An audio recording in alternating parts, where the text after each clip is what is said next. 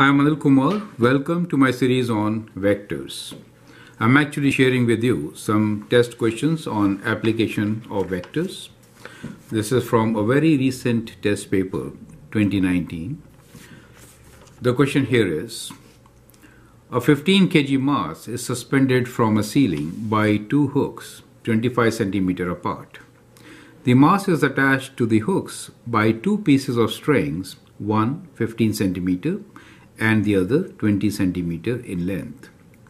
Find the tension in each string. Include a position diagram and a vector diagram with your solution. I would like you to pause the video, answer this question, and then look into my suggestions. Now let's begin with what is given to us. So we have a ceiling here. So let me sketch the diagram. Now in this ceiling is given to us as what two hooks and from these two hooks we have two strings. So these strings are 15 and 20 centimeter long right? So we'll make one smaller right? The other one longer. Okay. So these are the two strings. Now from these two strings we do have a mass holding kind of like this. Okay. Now the tension because of this will be in the direction and the mass has weight which is kind of a force which will act downwards. Correct? So, so we have here all the things mentioned. Now this is which kind of a diagram? Is it a position diagram or a vector diagram? Now that actually gives you the position of each and everything as explained in the particular question. Is that clear? Right? Now to complete this position diagram, let me write down here. This is position diagram.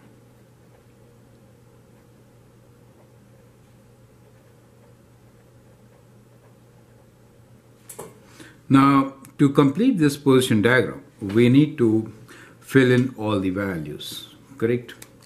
So so we only know the three sides actually. This is 25 centimeters the distance between the two hooks and the length of the strings which is 15 and 20 centimeters right? So all units are in centimeters.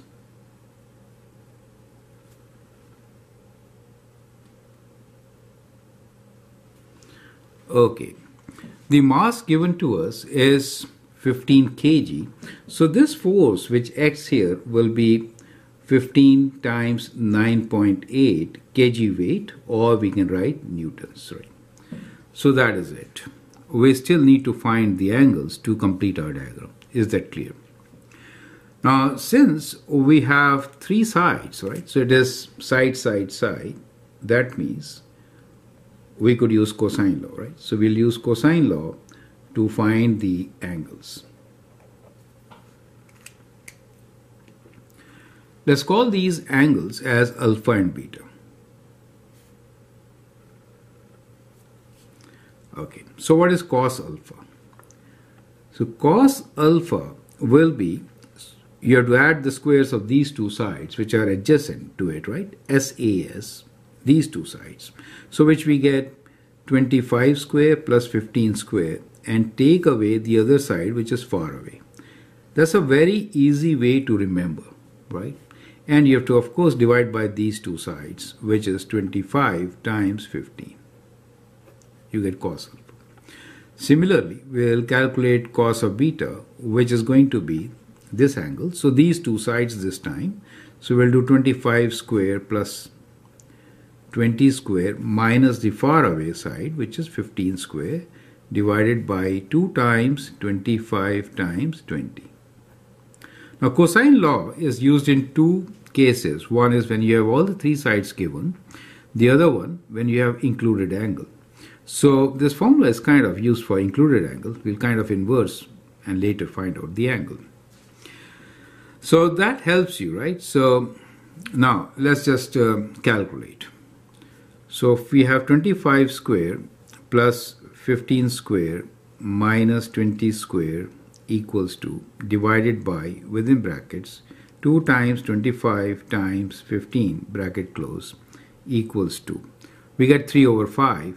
We'll just do uh, cos inverse of this. So we get alpha equals to cos inverse of 3 over 5. Correct? So we'll do shift cos inverse of our answer, which is 51.13 Uh, or 53.13, right?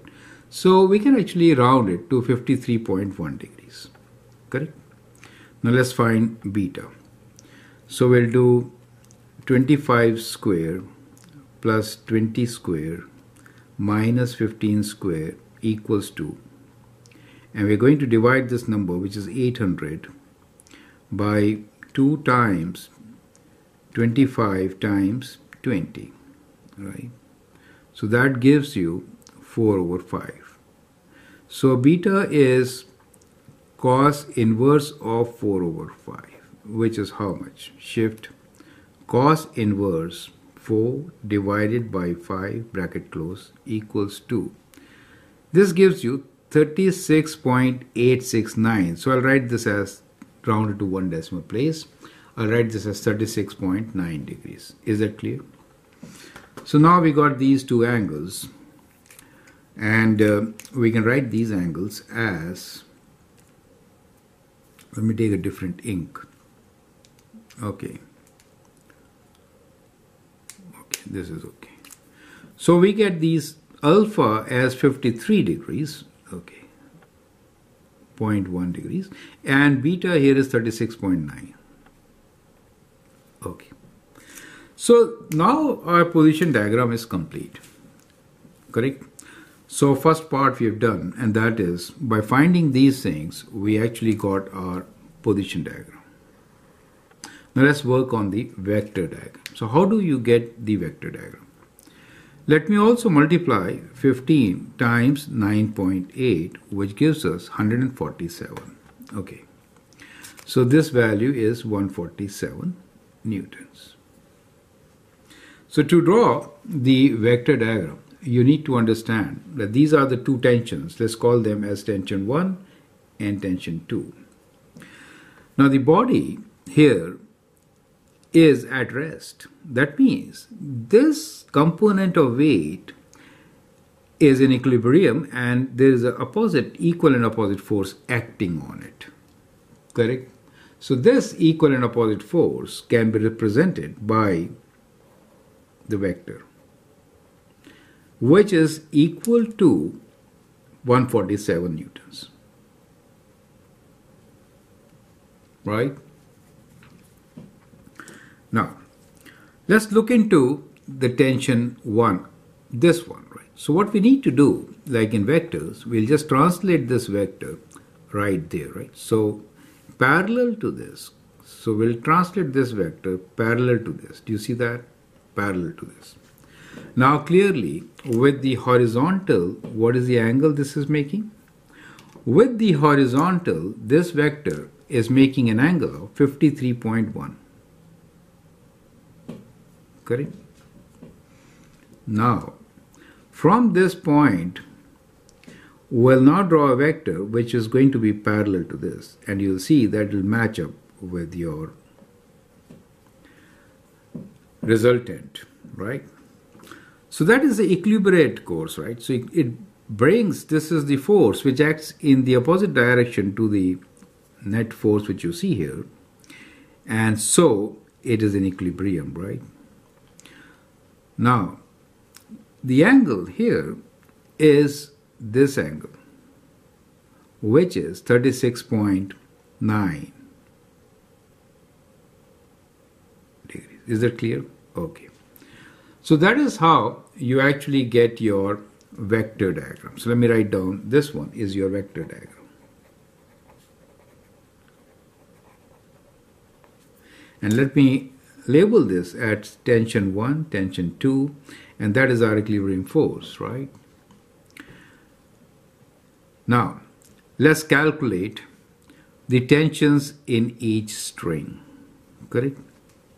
Since we know our angles, we can actually, we know this angle also, right? Okay, let's add these two first. These two angles. That is the that is the right angle, correct? Okay. So the angles in this corner here are basically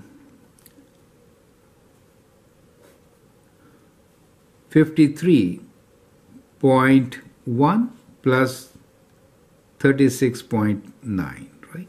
So that gives us 0 1 so 7 and 3 10 and 1 4 and 5 9 so that gives you 90 degrees in this particular case. Correct so we get 90 degrees as a total angle at this point. We can actually find these angles also. This angle will be now this is a straight line. This angle will be 90 minus 53.1 correct? So let's write down this angle. Since we need to know those angles to use sine law and get t1 and t2 values correct? So 90 minus 53.1 gives us a value of 36.9 obviously. Correct?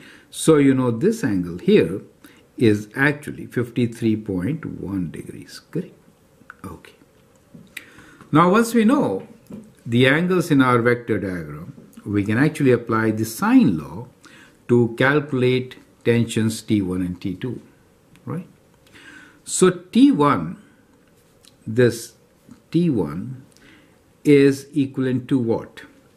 You can look into the side which is opposite to T1 and that side has an angle which is 90 degrees here. So basically it's a 90 degrees triangle. So you could use sine law, cosine law or you could straight away write down your results. Because this is a 90 degrees we can easily write down the results based on the hypotenuse right? So let me mention here. So our method is slightly different easier. We have an easier option since we have a right triangle. Do you see that? Since that angle is 90 degrees, correct? So think like this. What triangle we have here? Otherwise we'll use sine law, correct?